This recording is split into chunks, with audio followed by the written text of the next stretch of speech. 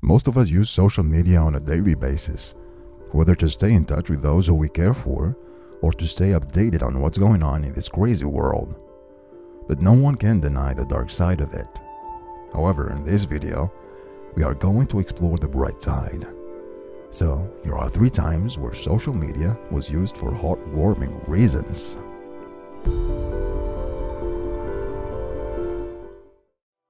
At number 1, mother took to Facebook after nobody came to her autistic son's birthday party. In 2015, Glenn Buratti, an autistic child from Florida, was very excited to celebrate his sixth birthday.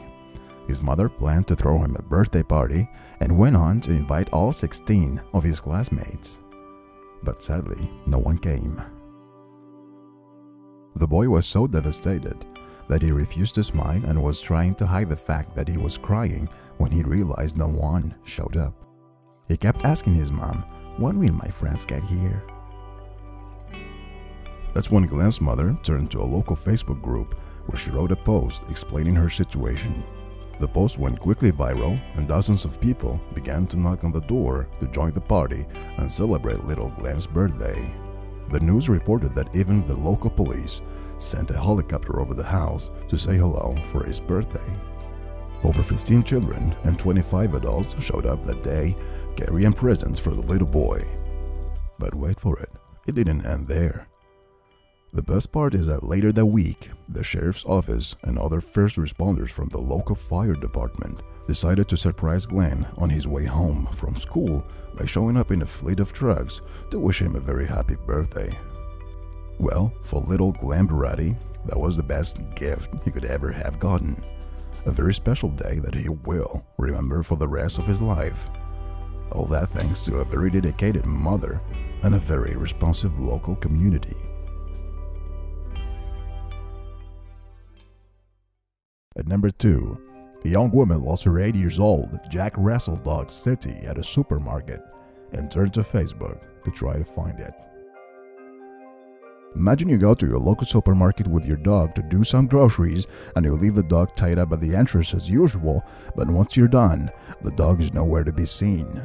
Well, you would pretty much freak out, but unfortunately, that's exactly what happened to a young French woman named Amandine at her local supermarket in Paris back in 2015.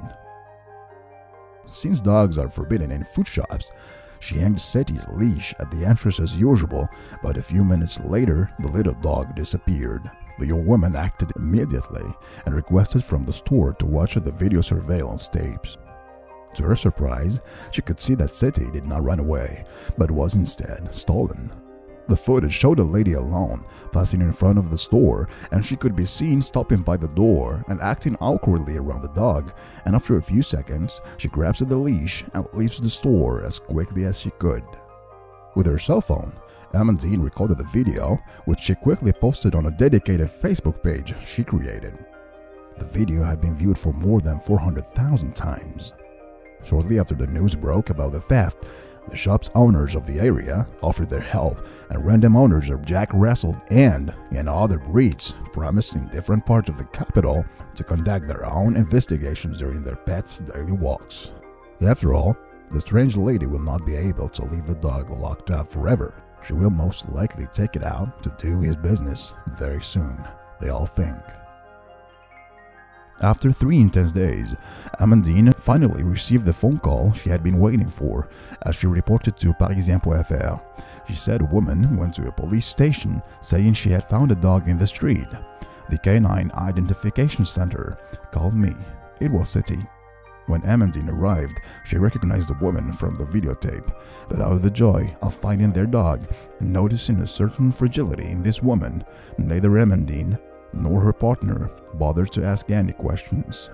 She continued, Facebook didn't help me find my dog, but it was of great help in lifting my spirits. People have gone to check for false leads after logging in to the page, but local shops owners and police officers also went to great lengths. She felt grateful and went on to write a post to thank all the wonderful souls that were immobilized and involved in this incredible search. Oui, content ce chien. On a retrouvé Cétie, Cétie est.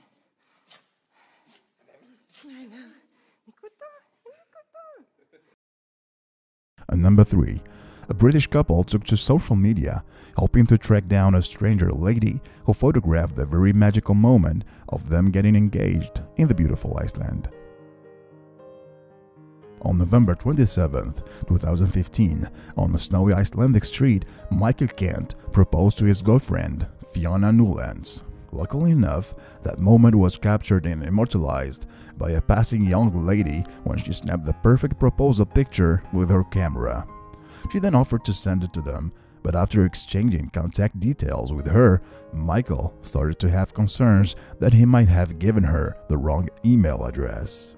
A few hours later that night, he realized the mistake he just made, but not willing to give up on the perfect picture, he rushed right back to the scene and took his own picture of the empty street and turned to social media to look for the stranger photographer.